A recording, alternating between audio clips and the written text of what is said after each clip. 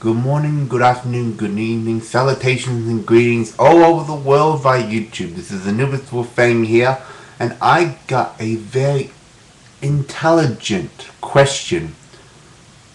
That is like the best question there is, then what is the meaning of life? And what is the game? So here's my question to all of you that you could answer it. Since a cyclops has one eye, if it closes and opens, does it count as a blink or a wink? Comment your answers right below. You can subscribe towards my channel. You can take a look at all my videos. Salutations, oh, arigato,